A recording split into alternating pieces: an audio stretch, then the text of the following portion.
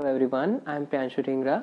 I am a second year MBBS student studying at University of Perpetual Help System Dalta, Philippines. I have given NEET 2020 exam and I have scored 596 in it. Biology was my favorite and strongest subject. I got 350 out of 360 in biology NEET. Biology requires lot of concept learning along with the theory. We have seen the students are good at theory, but their practical is not clear.